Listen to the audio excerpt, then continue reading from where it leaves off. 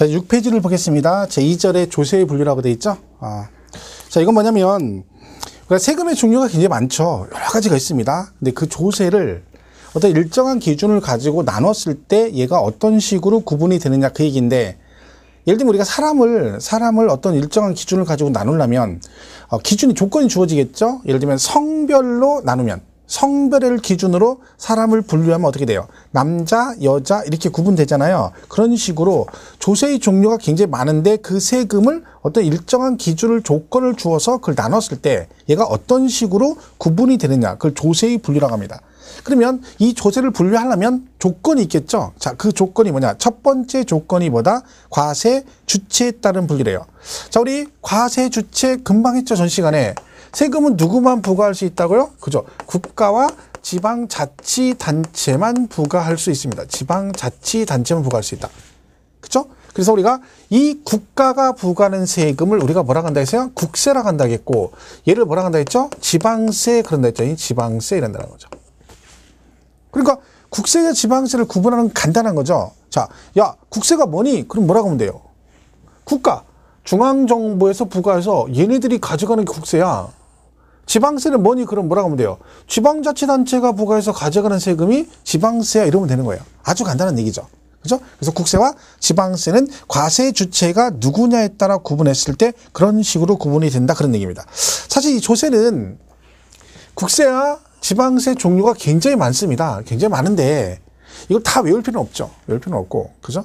만약에 시험에 잘 나오진 않지만 이렇게 나올 수 있겠죠. 다음 중 국세가 아닌 걸 고르시오. 다음 중 지방세가 아닌 걸 고르시오. 이렇게 나올 수 있어요. 자, 그러면 이거를 만약에 이 문제를 맞추려면 이 국세와 지방세를 다 외워야 되나요? 그렇진 않습니다. 그렇죠? 그렇진 않아요.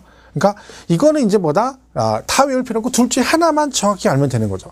사실 우리가 국세 같은 경우는 이제 관세 빼고 13개가 있는데 그 중에 교통 에너지 환경세라는 게 그 일몰 시한이 돼가지고 어 그게 이제 폐지가 될 예정인데 아직 확정은 안 됐어도 연장한다는 얘기가 있어요. 원래 올해 말까지인데 연장이 안 되면 얘는 폐지가 되는 거고 연장이 되면 또 늘어나는 거예요. 그래서 세목이 이제 어떻게 될지 모릅니다. 교통 에너지 환경세가. 근데 그거는 나중에 보시면 되고 뭐 굉장히 중요한 얘기 아니기 때문에 그리고 지방세는 11개가 있어요. 11개. 그러면 얘는 11개고 어쨌든 얘는 뭐 지금 13개, 12개 된다는 얘기잖아요. 자, 그럼 이거를 만약에 둘 중에 하나를 외운다 그러면 무엇을 외워야 된다? 둘 중에 지방세를 외워야 됩니다. 지방세. 이유는 명확하게 갈려 있죠. 왜? 얘는 뭐 얘가 얘는 11개밖에 안 되는 얘는 13개 막 이렇게 되잖아요. 당연히 얘를 외워야 됩니다. 그럼 여러분 생각해. 아이고 그 하나 두 개 차이로 뭐 그까짓 거면 어차피 똑같지. 아닙니다. 엄청 큽니다. 우리 머리가 용량이 딸리죠. 안 써가지고 평상시 사용하지 않는 머리를 가지고 공부를 하기 때문에 뭐가 하나 머릿속에 들어가기도 쉽지 않지만 들어갔어요. 그럼 얘가 하나가 들어가면 나머지 얘가 들어가기 힘들어. 자리가 없어. 그럼 다른 얘가 얘가 자리를 비워줘야 다른 애가 들어갈 수 있어요. 지금은 공존을 못해 우리 머리가. 사용을 안 했잖아. 그죠? 사용을. 언제 사용했어? 집에서 그냥 있을 때 저도 뭐 옛날에 어떻게 공부 안 할 때는 언제 써요? 못 박을 때 망치 없으면 그때 한번 머리 땅 받아가 이때 외에는 뭐 쓰질 않거든요. 그러니까 용량이 딸리지. 그러니까 최대한 한 단어도 덜 외우는 게 좋아요. 그럼 이걸 이걸 돼요. 자, 지방세는요. 우리가 배우는 게 세 개가 있어요. 취득세. 그죠? 그리고 등록 면허세. 그리고 재산세 우리가 배워요. 우리가. 그러니까 이건 물어갈 수가 없는 거죠. 이 세 개는 배우니까. 그죠? 자, 그리고 초등학생한테 물어봐도 초등학생도 얘가 국세니 지방세니라고 물어보면 다 맞추는 게 있어요. 그죠? 초등학생한테 물어봐도 얘는 지방세래. 뭐 지방교육세, 지방소득세, 지방소비세. 설마 얘를 국세라고 하진 않겠죠? 대놓고, 죠 지방세, 지방세, 지방, 지방, 지방, 그러죠. 지방, 지방, 지방, 그죠? 지방세, 지방세. 그럼 11개 중에 6개. 그 다음에 이런 게 있어요. 지역, 지역, 자원, 시설세, 주민세, 그 다음에 자동차세 이런 게 있어요.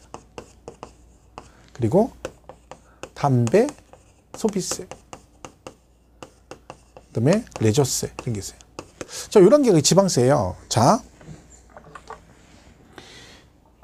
여기 보시면 지, 지역 주민, 저요. 지역 주민. 자, 이게 지역 주민 그러면 뉘앙스가 국세 같아요? 지방세 같아요? 지역 주민 그러면 느낌이. 그쵸. 지방세가 지역 주민과 지방세 느낌이 들잖아. 설마 지역 주민 그러니까 왠지 국세의 향기가 나는데 야 이건 아니고 특이한 사람이지 특이한 사람 그죠. 지역 주민 지역, 지역 주민 지방세. 여러분 남자들 담배 많이 피잖아요. 저는 담배를 안 피는데 하 담배 피면 골치 아프죠. 저희도 아파트에서 막 그 담배 피면 막 맨날 방송하고 밑에 또 1층에 내려가 피면 막 위에 올라간다고 난리 나고 막 그렇습니다. 집에서 담배 피는 건 뭐 불가능이죠. 나는 집에 거실에 앉아서 담배 핀다? 그러면 이거 왕이 왕. 조선시대 왕이죠. 왕하고 똑같은 거지. 나는 베란다에서 필 수 있다? 한 영의정 정도 되는 거죠. 대부분 어디야? 못 피죠. 어린 짝도 없죠. 애들하고 뭐 엄마, 와이프가 없나 뭐라 그러죠. 그러면 밖에 나가 피는 거 하인, 하인. 근데 밖에서 피면 또 막 방송 나와요. 누가 거기서 담배 피냐고. 그거 어디서 피워? 갈 데가 어디 있어?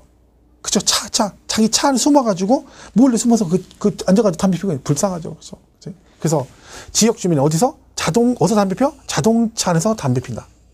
애들 너무 없어 보이잖아요. 그래서 레저세. 레저세는 왠지 럭셔리한 느낌 가서 국세의 향기가 나잖아요. 그래서 하나 너무 없어 보이니까 여기다 하나 집어넣은 거죠. 레저세. 그래서 취득세, 등록세, 재산세 우리가 배우고 지방, 지방, 지방, 지역 주민이 자동차 안에서 담배 핀다. 그리고 루세가초, 레저세 해서 11개가 지방세에 들어갑니다. 이런 뭐 이런 게 있다. 그러면 여기 해당이 안 되는 것들은 다 국세겠죠. 외울 필요가 없는 거죠. 상속세, 국세, 그 증여세, 국세, 종합부동산세, 국세, 양도세, 국세, 개별소비세, 국세, 인세, 인지세, 국세, 뭐 증권거래세, 교통에너지 환경세, 그죠? 개별소비세, 그죠? 다 뭐예요? 국세죠. 왜? 여기 아니죠. 여기 얘가 지방세라는 거예요. 이렇게 보시면 돼요. 일부러 외울 건 없지만 그냥 세 개 배우고 지방, 지방, 지방, 지역 주민이 자동차 안에서 담배 핀다. 그리고 구색 같죠? 레저세. 옛날에 저 어렸을 때는 명절 때 집에 가잖아요. 그러면 그 프랭카드가 붙어요. 뭐라고? 뭐, 내고장, 고향 방문을 환영합니다. 그리고 밑에다가 내고장 담배를 애용합시다. 이렇게 내고장 담배를 애용합시다. 이렇게 붙어요. 지금 뭐 기억나, 지금은 뭐 그런 거 없죠. 어린도 없죠. 근데 그때는 진짜 붙었어요. 내고장 담배. 왜 얘들이 거기다가 내고장 담배를 애용하자고 해요? 어차피 너 담배 피서 줄, 뭐, 어차피 담배 피서 갈 거, 이양 필 거, 뭐 해라. 네 고향에다가 세금이 어디로 간다는 거예요? 지방세니까 네 이양 필 거, 내고장 담배를 애용하자는 뜻입니다. 그죠? 그래서 이게 지방세인 거예요, 지방세. 내고장 담배를 애용합시다. 그래서 담배 수비세. 과거에 이제 그런 게 있었거든요. 담배 수비세. 그죠? 그래서 요게 아, 대표적인 어, 가치에서 지방세 11개가 있다. 그러면 요게 지방세인데 그 지방세가 다시 특광도세, 시군구세 구분되잖아요. 근데 우리 교재는 6페이지 보면 국세 지방세 나와 있죠. 그 지방세가 뭐 도세, 시군세 이렇게 막 구분돼 있죠. 이거 이거 구분해서 외우는 분이 있는데 그럼 절대 하지 마세요. 안 물어봐요. 우리는 뭐만 기억하면 돼? 이 중에서 우리가 배우는 거 세 개만 기억하면 돼요. 뭐 취득세, 등록세, 재산세만 기억하면 돼. 얘는 무슨 세라고요? 특, 광, 도세라 했잖아. 그리고 재산세는 시, 군, 구세입니다. 근데 등록세는 도세 및 구세 그럽니다. 자, 이거 잘 보세요. 등록세는 뭐라고요? 도세 및 구세래. 이게 무슨 뜻이에요? 아까 잠깐 설명했죠, 전 시간에. 도세란 얘기는 등록세는 특광도, 도 단위에서는 도 재정으로 간다는 얘기죠. 그죠? 근데 여기서 구세라고 돼 있죠. 자, 이 구는 무슨 구를 말한다겠어요? 어, 한 시간 전거니까 기억 안 나겠죠? 자, 우리 세법의 모든 구는 뭘 말한다? 자치구를 말한다겠죠? 어디 밑에 있는 구를 말한다? 특별시, 광역시 밑에 있는 구를 말한다겠죠? 그러니까 등록세가 구세란 뜻은 어디를 말하는 겁니다. 서울특별시에서는 특별시세가 아니라 구세로 들어가고 대전광역시, 광역시에서는 뭐 광역시세가 아니라 구세로 들어간다 그 얘기입니다. 이 의미가. 그죠? 그래서 얘는 특광도세, 얘는 도세 및 구세, 얘는 시군구세. 이것만 기억하시면 되는 거야. 나머지는 필요가 없어요. 그리고 우리가 이런 식으로 지방세 구성이 되는데 예배가 있어요. 어디? 제주도하고 세종시. 그러니까 지방세가 11개잖아요. 11개. 그럼 얘네들은 이런 식으로 구분되잖아요. 이렇게. 근데 이런 거 구분 없이 지방세 11개가 몽땅. 예를 들면 제주도는 제주도 서귀포시에 감귤 농장 하나 있어요. 여러분. 그럼 재산세를 내요. 그럼 재산세는 시군구세니까 원래는 다른 데 같으면 어디로 들어가요? 제주시 재정으로 들어가야 되거든요. 근데 얘는 제주시 재정이 아니라 뭘로 가? 제주도 재정으로 갑니다. 그러니까 지방세 11개가 몽땅 다 뭐요? 특별, 제주도를 우리가 뭐라 그래요? 특별자치도 그러잖아요. 그러면 이 지방세 11개가 제주도에서는 특별자치도세에 들어가요. 그 다음에 세종시는 특별자치시죠. 그러니까 이 11개 세목이 전부 다 특별자치 시세에 들어가는 거지. 그래서 시군 구세 이런 구분이 없다는 거지. 그 두 개만. 해서 그게 6페이지 맨 밑에 보충학습에 특별자치 시세와 특별자치도세라고 돼 있잖아요. 그죠? 얘는 지방세는 몽땅 요걸로 들어간다. 그죠? 그럼 뭐 굳이 그걸 외우지는 마세요. 그냥 따로 걔네들은 얘네들은 전부 다 뭐다? 특별자치도세와 특별자치시에서는 이런 식으로 구분이 안 되고 특별자치도세 시세로 구분이 된다. 뭐 그 정도 알고 가면 되는 거고. 자, 오른쪽 예제 문제가 문제를 안 풀라고 하는데 설명한 짐에 기출 문제거든요. 지방세 기본법상 특별시세 세목이 아닌 것은 그러니까 특별시세가 아닌 걸 골라래요. 5번에 등록세 나왔잖아요. 얘가 정답이잖아. 왜? 얘는 구세라고 했잖아.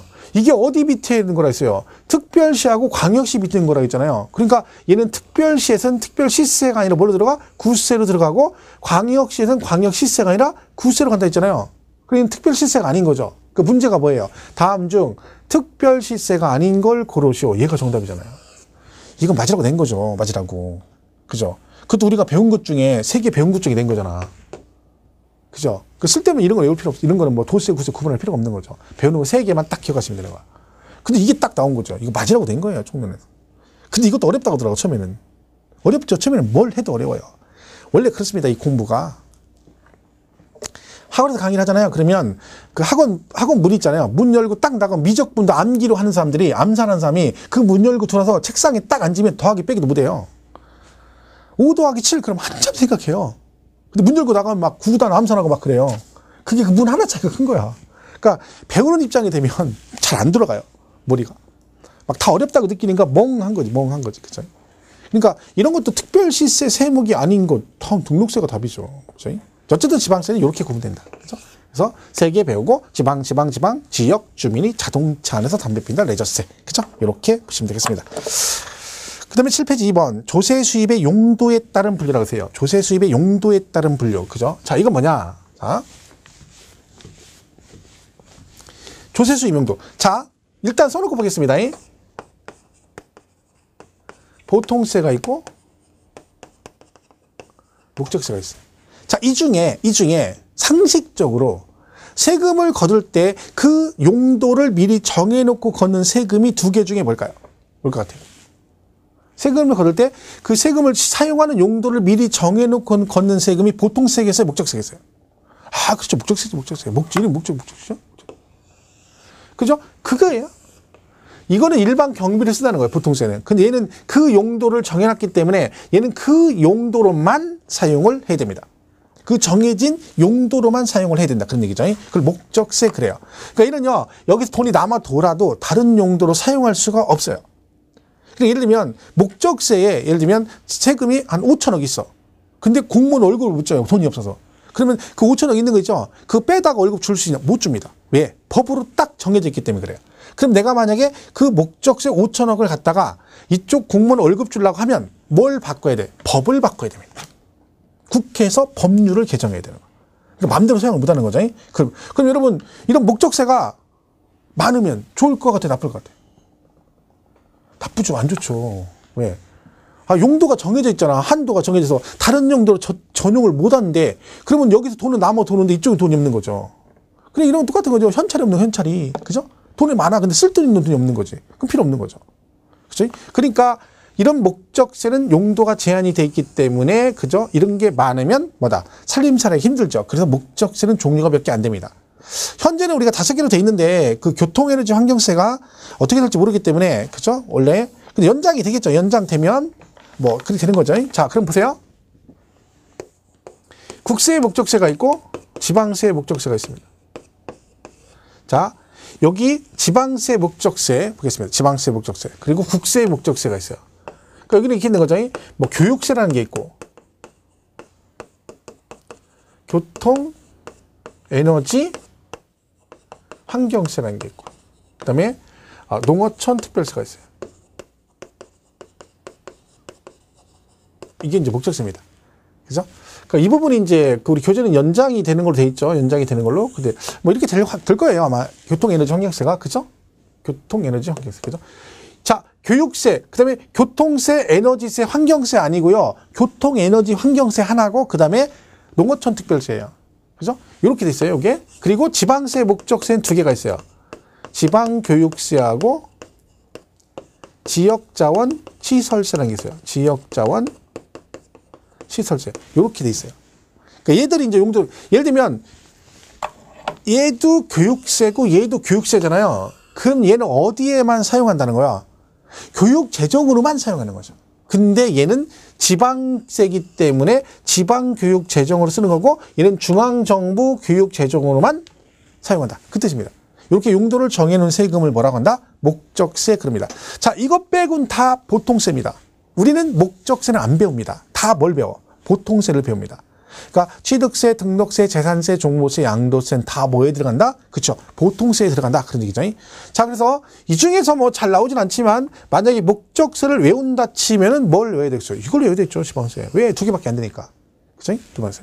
뭐 이거는 뭐 그런 식이에요. 예를 들면 어렸을 때 엄마가 애기들이 이렇게 있다가 이게 더러운 거 만지면 뭐라 그래? 더러운 거 만지면 에이, 에이 치지, 에이 치지 그러죠. 들었다고. 에이 치지 그러죠. 뭐라고? 에이 치지, 치지, 치지. 지지예요. 지지. A 지지할 때 지지, 지방교육세, 지역자원시설세가 지방세 목적세입니다. 근데 앞에 지가 또 있어요. 그러면 뭐야? 지지지죠. 지지지. 지지지. 어디서 많이 들어봤죠? 그 노래 있잖아, 노래. Gee Gee Gee Gee, baby, baby, 몰라요? 그 소녀시대, 소녀시대 노래, 소녀시대 노래, 지지지 지지지. 모르지. 뭐, 텔레비도 안 보고 공부도 안 하고 뭐 하는 게 없어, 도대체. 뭘 하는지 모르겠어. 그죠? 뭐 하나는 해야 될 거 아니야? 텔레비도 안 봐, 공부도 안 해, 연속극도 안 봐. 그죠? 지지, 그죠? 지지지. 여기 지지. 그래서 지방교육세, 지역자원시설세가 뭐다? 지방세, 목적세 두 개에 들어갑니다. 그죠? 그래서 그냥 지지가 있다, 지지지다, 뭐 이렇게 기억하시면 돼요. 세부적인 얘기는 안 해도 나중에 하다 보면 돼요. 그러니까 뭐 그냥, 아, 이렇게 있다. 그래서 보통세와 목적세로 구분이 된다. 어떤 용도, 용도가 정해져 있느냐 아니에 따라서 구분을 한다. 목적은 다섯 개가 있다. 이렇게 보시면 되겠어요. 네, 일부러 연락하지 마세요. 이걸 뭐 잘 물어보진 않아요. 많이 물어보진 않고. 그죠? 근데 목적세 외운다 치면 지방세 두 개만 잘 기억하세요. 지지. 그지? H지. 그지? 그다음 3번. 과세 대상 기속 여부에 따른 분류라고 있죠? 과세 대상 기속, 기속, 기속 여부. 자, 그래서 인세하고 뭐가 있어요? 물세가 있어요. 인세, 물세. 별게 다 있죠? 인세, 물세. 자, 인세. 물세. 자, 이거는 이거요. 얘는 누구 중심이라는 거요? 사람 중심이라는 얘기예요.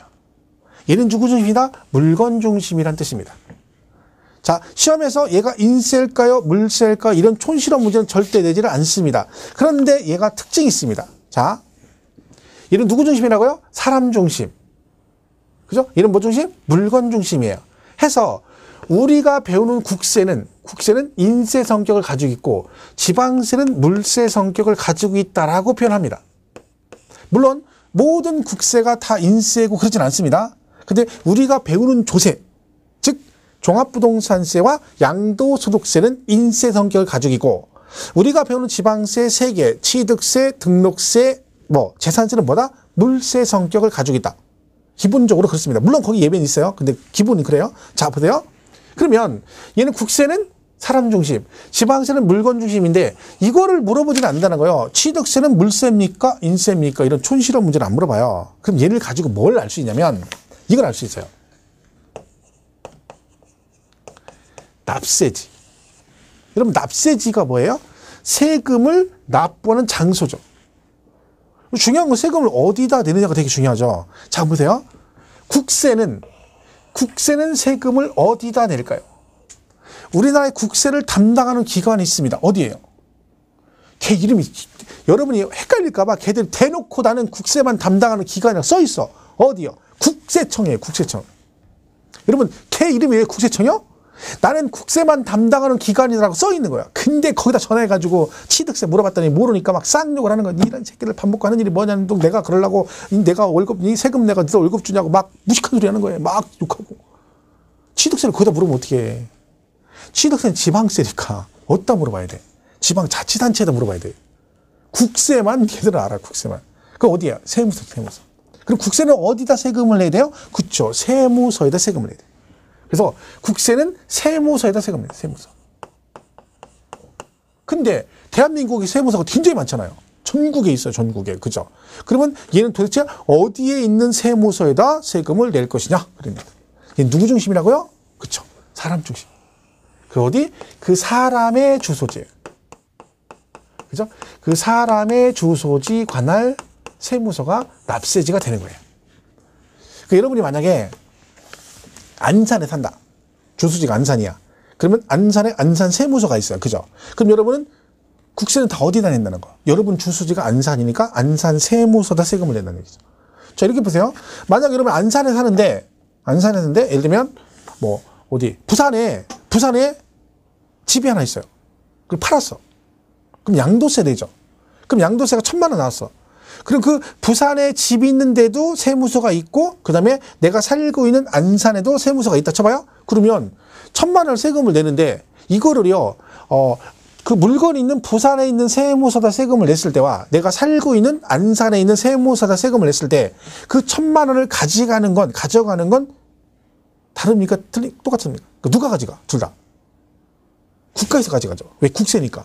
그 무슨 얘기야? 국세는 전국을 대상으로 하니까 전국 어느 세무서다 세금을 내든 다 누가 가져가? 중앙정부에서 가져가요.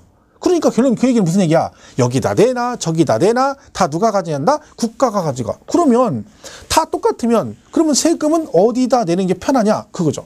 그러면 여기다 저기다 다 똑같으면 네가 세금 내기 편한 동네에다 세금을 내라는 얘기야. 그럼 내가 세금 내기 편한 동네는 물건이 있는 부산입니까? 내가 살고 있는 안산입니까? 그죠. 살고 있는 데죠. 그래서 국세는 그 사람의 주소지 관할 세무서가 납세지가 된다. 그 얘기죠. 자, 그러면 지방세는 지방세는 지방자치단체에서 부과하는 거잖아요. 그럼 얘는 세금을 어디다 내야 돼? 그렇죠. 지방자치단체에다 내야죠. 지방자치단체에다 세금을 내겠죠. 그러면 얘는 어디 있는 지방자치단체냐? 지방세는 뭐 중심이라고요? 그렇죠. 물건 중심이라는 거죠. 그래서 어떠네? 얘는 물건의 소재지. 물건 소재지 관할 그죠? 물건 소재지 관할 지방자치단체가 되는 거죠. 그러면 우리가 기본적으로 납세지 같은 건 암기를 안 하더라도 나중에 종합부동산세나 양도세에 가면 국세니까 걔네들은 기본적으로 세금을 어디다 낸다? 그 사람의 주소지 관할 세무서다 이러면 되고 지방세인 취득세, 등록세, 재산세는 기본적으로 부동산은 다 어디다 낸다? 그 물건, 부동산 소재지 관할 지방자치단체가 되겠죠. 이해가시죠? 그거를 우리가 기억하시면 돼요. 그러니까 이 물세 인세는 이 특징을 가지고 얘를 아는 거지 얘가 인세냐 국세냐가 중요한 절대 그건 안 된다는 거죠. 그건 쓸데없는 거 볼 필요 없습니다. 그래서 요걸 가지고 납세지를 유추할 수가 있다 그런 얘기죠. 그럼 예를 한번 들어볼게요. 자, 이렇게 건물이 있어요. 자, 여기가 아, 여기 있고요. 갑이 이 건물을 샀는데 얘는 대전시 서구에 살아요. 그러니까 대전 서구에 사는 사람 갑이 경기도 안산시에 있는 건물을 하나 샀습니다. 이해가 안 가네? 무슨 얘기야? 대도시에 사는 대도시에 사는 갑이 시골에 있는 건물 하나 산 거지. 이해가시죠? 그죠? 대전 광역시 사는 사람이 경기도 안산시에 건물 하나 샀어. 무슨 얘기야? 대전 광역시 대도시에 사는 갑이 시골에 있는 안산의 시골에 있는 건물 하나 샀다. 이해가 빠르죠? 그죠? 제가 이 얘기를 하면 뭐라고 하냐면 제가 안산에서 수업을 하거든요. 갑자기 막 흥분해요. 왜? 기분 나쁘다 이거야. 왜? 안산이 시골이 아니래. 그럼 대전이 시골이야? 안산하고 대전하고 어디가 도시, 도시야? 이 상식이 안 통해. 그러니까 공부를 못 하는 거야. 누가 물어봐도 대전이 더 도시잖아요. 왜? 그냥 광역시고 안산은 일반 시잖아. 근데 막 안산이 더 도시래. 말 안 되는 소리 하는 거야. 그러니까 공부를 못 하는 거야. 기분이 안 돼 있으니까. 그죠? 한국 사람들은 대부분이 뭐냐면 허리 밑에는 다 시골이라고 그래. 허리 밑이면 시골이라고 그래. 그러니까 웃긴 게 뭐냐요? 수원이나 안산 사람들이 대전 갈 때 어디 간다 그래? 시골 간다 그래. 아, 웃기지 않습니까? 무슨 시골이야. 대도시 가. 야, 나 대도시 간다 그래야지. 무슨 시골 간다 그래. 그럼 대한민국 제일 시골이 부산이게? 부산 저 구석쟁이 있잖아. 끝에. 그죠? 저 깡촌이네, 깡촌. 말도 안 되는 거지. 그죠? 앞으로 말할 때는 어디 간다고 해야 돼요? 대도시 간다고 얘기해. 대도시. 그죠? 시골 간다고 하지 말고. 그죠? 허리 밑은 다 시골이 아니죠. 자, 그럼 보세요. 얘가 이 상태 취득했죠? 자, 그럼 세금 내잖아요. 자, 보세요. 취득세 내야 돼. 취득세? 갑이 취득했으니까. 그죠? 자, 그럼 이 취득세는 어디다 낼까요? 지방세잖아. 지방세는 어떤 데가? 물건의 소재지 관할 지방자치단체니까 이 물건이 어디 있어요? 경기도에 있잖아. 취득세는 특광도세잖아요. 그럼 세금은 어디다 내? 그죠? 원래는 안산에 내요. 안산시에다. 그럼 얘들이 걷어서 어디다 갖다 줘? 경기도에다 갖다 줘요. 왜? 경기도세니까. 특광 도세잖아. 그죠? 그럼 얘는 어떠네? 안산시 그러니까 결국 어디야? 특 광도. 그러니까 경기 어디? 경기도다 내는 거죠. 경기도. 그죠? 물건 소재지. 자, 이 건물을 담보로 돈을 빌렸어요. 그럼 등록세를 내죠. 저당권 설정하면. 자, 이때 등록세는 어디다 낸다? 자, 등록세는 무슨 세라겠어요? 그러니까 취득세는 특광도세, 등록세는 도세 및 구세 그랬죠? 그리고 재산세는 무슨 세? 시, 군, 구세 그랬잖아요. 그죠? 등록세는 어디다 내요? 경기도에 있잖아. 그럼 무슨 세? 도세잖아. 그럼 얘도 경기도에 내는 거죠. 물론 안산에 내면 또 얘도 갖다 주는 거죠. 그죠? 자, 재산세 냈어요. 재산세는 어디다 내요? 물건 시군구세, 시군구세니까 물건의 소재지관을 안산시다 내는 거 안산시. 그럼 얘는 누가 가져가? 그쵸? 이거는 제 안산시 재정으로 가는 거죠. 왜? 얘가 시군구세니까. 전부 다 물건 중심이에요. 그러니까 물건이 경기도 안산에 있으니까 취득세도 경기도다 내고 등록세도 경기도다 내고 재산세도 물건의 소재지인 얘는 시군구세니까 안산시에다 낸다 그 얘기죠. 물건의 소재지다. 이 그 뜻이에요. 자, 이걸 많이 갖고 있으면 종합부동산세가 나오겠죠. 그죠? 부동산이 많아. 그럼 종부세가 나요. 자, 종합부동산세는 어디다 낼까요? 종부세는 국세잖아, 국세. 그죠? 종합부동산세하고 양도세는 국세잖아요. 그것 에 주소지 관할 어디 세무서. 그러니까 어디 대전 서구청에 내면 안 되죠? 국세니까 어디다 내야 돼? 대전 서구에 있는 세무서가 있어요. 서대전 세무서. 그죠? 주소지 관할 세무서. 서대전 세무서. 이걸 팔았어. 그럼 양도세 어디다 내요? 얘도 서대전 세무서. 왜? 둘 다 뭐예요? 국세니까 국세는 세금을 어디다 낸다? 그 사람의 주소지 관할 세무서다. 그러니까 갑이 주소지가 대전 서구에 있으니까 대전 서구에 서대전 세무서가 있는데 그죠? 그러면 종부세, 양도세는 전부 다 대전 서대전 세무서다 세금을 내는 거고 그 다음에 지방세 세 개는 물건 중심이니까 물건의 소재지가 되는 거죠. 그럼 물건이 지금 어디에 있다고요? 경기도에 있으니까 취득세가 특광도세니까 걔도 경기도세로 내는 거고 도에 내는 거고 등록세도 도세 및 구세니까 경기도다 내는 거고 재산세는 시공구세니까 안산시에다 내는 거예요. 결론은 지방세는 다 뭐 중심이야? 물건의 중심, 물건 소재지. 국세는 누구 중심? 사람 중심, 주소지 관할 세무서. 이거를 우리가 인세, 물세 성격을 통해서 이 납세지를 그냥 유추할 수가 있는 거죠. 저 납세지를 굳이 뭐 따로따로 외우고 할 것도 없습니다. 그죠? 그러니까 저렇게 가면 돼요. 그냥 물건의 소재지다. 지방세는 뭐라고요? 물건의 소재지. 국세는 뭐라고요? 그 사람의 주소지 관할 주죠? 세무서, 세무서. 그죠? 그럼 잘 보세요. 과거에 기출문제로 뭐가 나온 적이 있냐면 이런 게 나온 적이 있어요. 재산세에서 얘가 이제 시공부세잖아요. 그죠? 근데 재산세 과세 대상이요.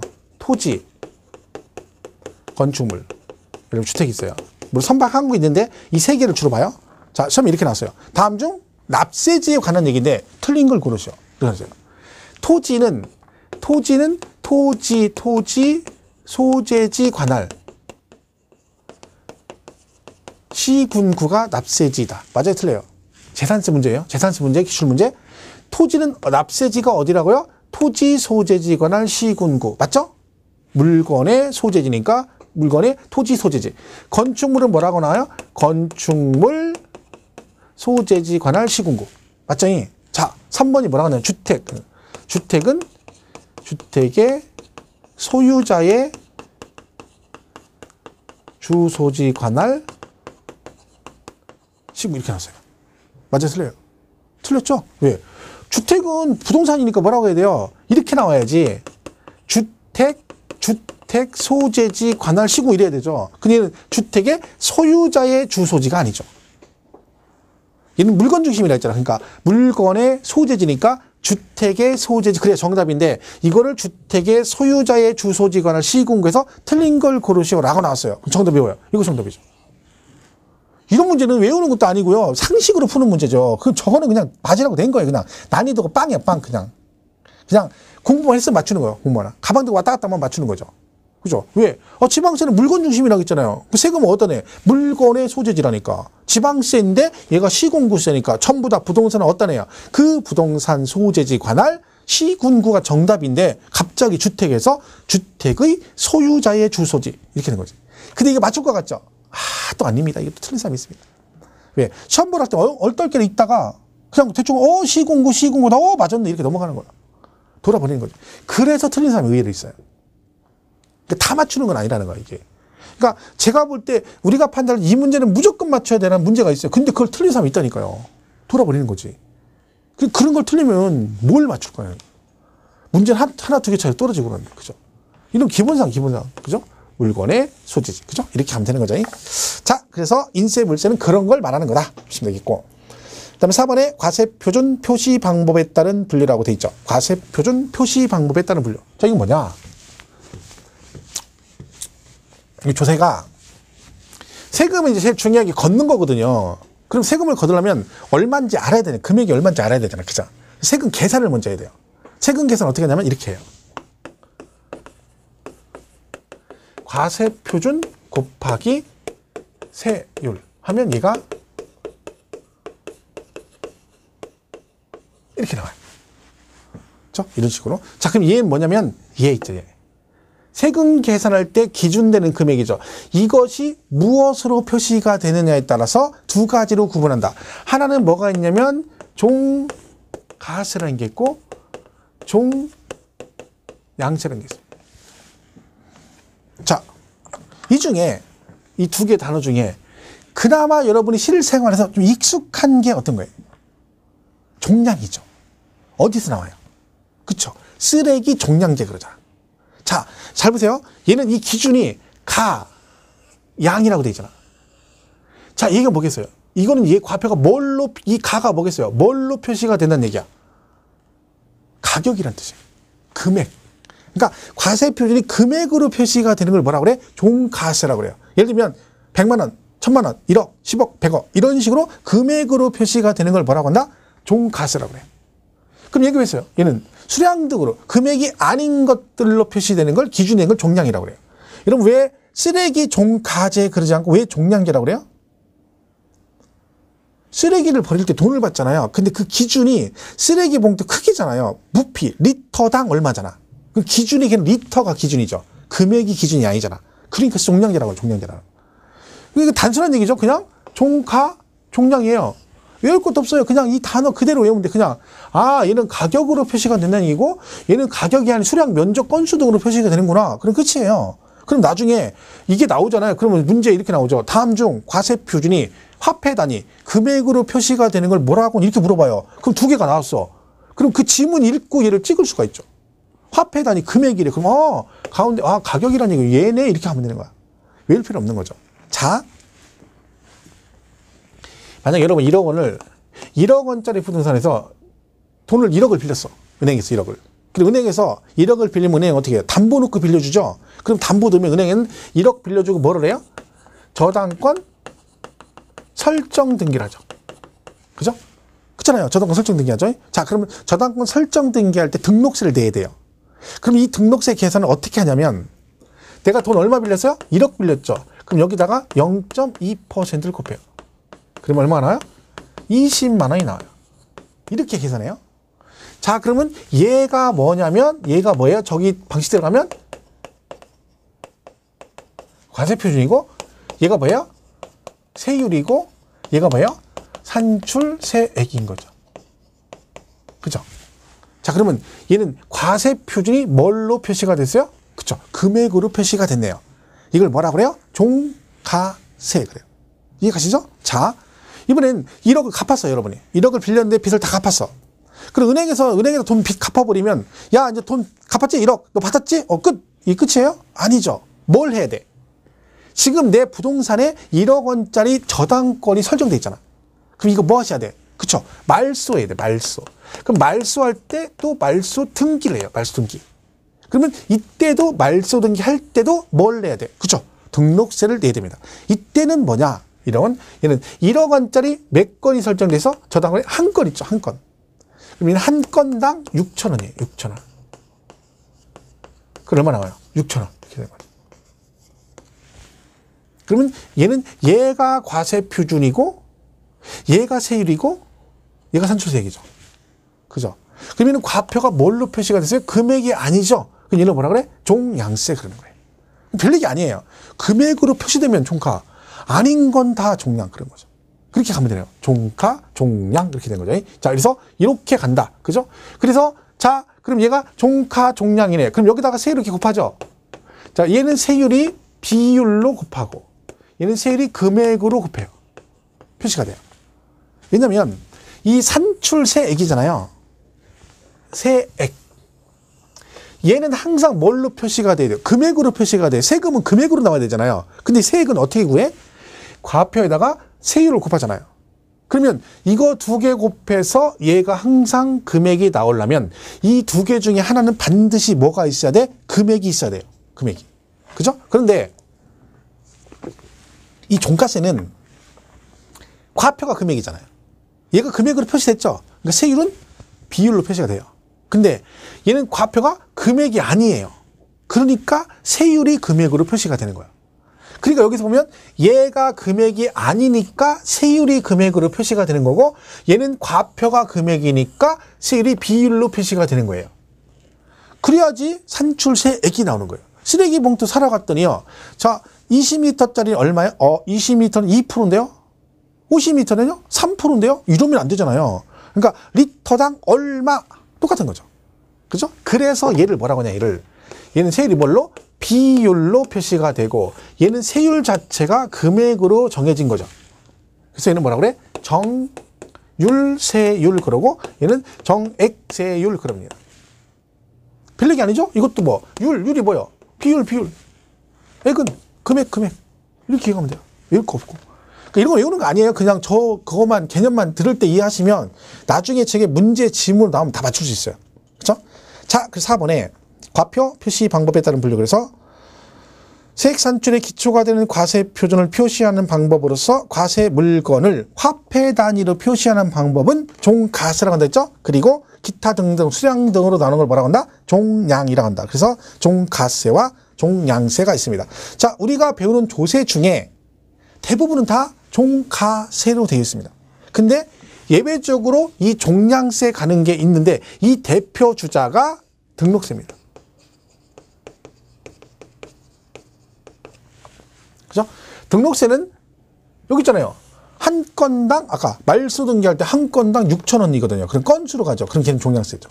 근데 이제 등록세도 전부 다 종가세로 돼 있어요. 다른 애들은 전부 다 금액이에요. 뭐 전세 금액, 뭐 요역지 가액, 월 임대차 금액 다 금액이에요. 근데 말소 등기 같은 건 건당에서 건수가 있거든요. 그래서 등록세는 종가세와 종량세 성격을 같이 가지고 있다 그래요. 근데 나머지 등록세를 뺀 취득세, 재산세, 종부세, 양도세는 다 뭘로만 돼 있다? 그렇죠. 종가세로만 되어 있습니다. 이 차이가 있는 거죠. 그래서 참고로 우리가 배우는 거에서 등록 면허세가 종량세 성격을 같이 가지고 있다. 이렇게 보시면 되겠죠.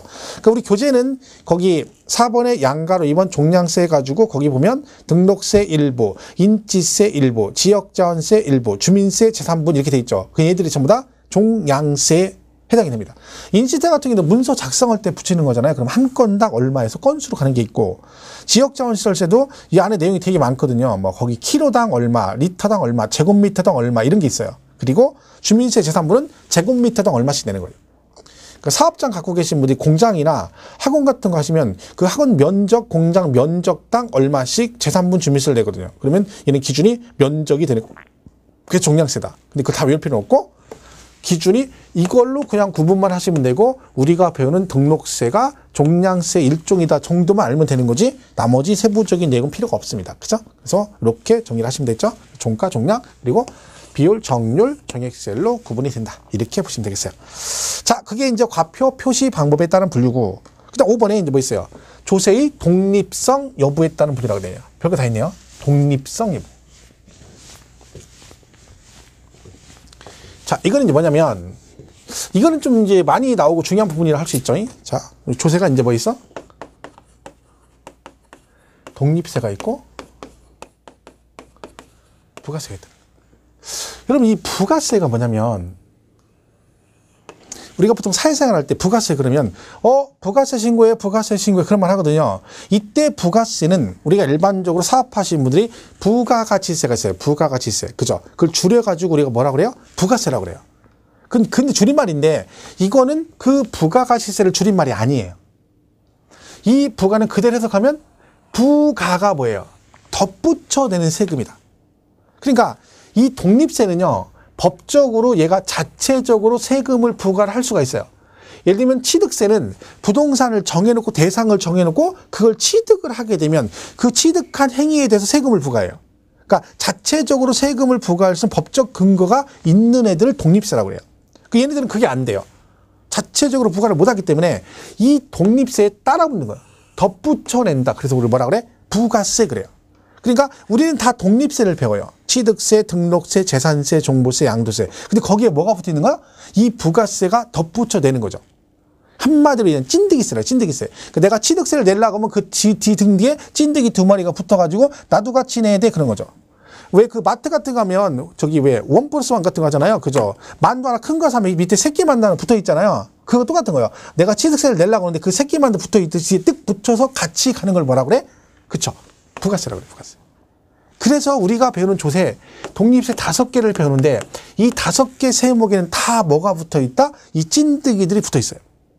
그죠? 그래서 취득세, 그 다음에 등록 면허세, 이거 배우는 거죠? 그 다음에 재산세, 그 다음에 종합부동산세, 종합부동산세, 그 다음에 양도 소득세. 이렇게 되는 거죠. 우리가 다섯 개 보잖아요. 그럼 여기에 다 뭐가 붙어 있다는 거요? 덧붙여 내는 세금인 찐득이들이 붙어 있다 그런 얘기죠. 그죠? 이 찐득이 붙어 있어. 그럼 여기에 붙어 있는 찐득이 부가세가 뭐냐? 이걸 기억하는 거죠. 해서 이제 여기에 붙는데 취득세는 찐득이가 두 마리가 있어. 두 마리가. 농어촌 특별세 10%. 그다음에 지방 교육세 20% 붙어요. 그죠? 등록세도 내시면 지방교육세 얘도 20%를 내야 돼. 그죠? 재산세도 지방교육세부터. 얘도 20%. 이렇게 되는 거죠. 그죠? 종합부동산세는 농어촌 특별세 20%가 붙습니다. 그죠? 그리고 여기에 양도세도 농어촌 특별세가 붙습니다. 얘도 20% 이렇게 붙어요. 그죠? 이렇게 된 거죠. 자, 그래서 여기 이제 특징이 뭐냐면 얘네는 이거는 양도세는 감면세에게 붙는다. 이 특징이고. 그 얘네들은 이제 얘네들은 요 네 개는 이제 납부세에 붙는 거예요. 납부세에. 이 차이가 있어요. 그죠? 일단 여러분 이제 뭐는 기억을 하셔야 되면 이건 뭐 앞으로 엄청 많이 나옵니다. 각 세목별로 부가세가 뭐가 몇 퍼센트 붙는지는 정확하게 알아야 돼요. 그러니까 예를 들면 취득세는 농특세 10%와 지방교육세 20%, 뭐 재산세는 지방교육세 20%. 이건 외워, 외워야 돼요. 나중에. 지금 말고 먼저. 많이 나와요. 계속 나오는 거니까. 그죠? 기본상이 기본상. 과거에 나온 전례도 있, 있죠. 이, 이 자체를. 그죠? 그래서 이 각각의 독립세에 붙는 부가세 종류를 외우셔야 되고요. 그 다음에 여기 보면 세율이 비율이 여기 10%, 얘는 20%, 20%, 20%, 20%, 20% 이렇게 돼 있잖아요. 이거 외울 때 어떻게 외워야 돼요? 이런 사람 있어요. 이걸 외우는데 동특세 10%, 그 다음에, 그 다음에 뭐, 어, 지방교육세 20%, 지방교육세 20%, 얘도 20%, 얘도 20%, 얘도, 어, 쉽네? 이러고 씩 넘어가. 그렇게 공부하면 나중에 어떤 현상이 일어나요? 문제 풀다가 나왔어. 그랬더니 뭐라 그래? 하, 이 중에 하나가 10% 있었는데 뭐지? 이렇게 되는 거야. 근데 공부를 그렇게 하면 안 되지. 그 중에 하나를 외워야지. 그 중에 하나. 그죠? 얘만 10%잖아. 그럼 이것만 10%고 나머지 몽땅 몇 프로? 20%. 이래야 나중에 안 틀리지. 10%, 20%, 20%, 20%, 20%. 어, 쉬워. 20%다 됐고 외웠네? 뭘 외워요? 못 외운다니까. 그죠? 얘를 기억하면 돼. 그러니까 취득세는 부가세가 두 개예요. 두 개. 기본적으로 두 개가 붙어. 그래서 얘는 뭐야? 농특세가 10%만 내고 나머지 몽땅 20이에요. 그죠? 그걸 우리가 잘 기억하시면 돼요. 그래서 부가세는 이런 게 있다. 우리 교재는 이제 9페이지에 나와 있어요. 부충학습에 표로 정리가 돼 있죠. 부가세 부분이 그죠? 그래서 거기 각 세목별로 뭐가 몇 퍼센트가 붙는다가 정리가 되어 있습니다. 자, 이 부분은 잠깐 쉬었다가 제가 이 납부세액과 여기 감면세액에 관한 얘기가 무슨 얘기인지를 설명을 좀 하겠습니다. 구체적으로. 그죠? 그리고 나서 뒤에 이어서 가도록 하겠습니다. 잠깐 쉬었다가 가겠습니다.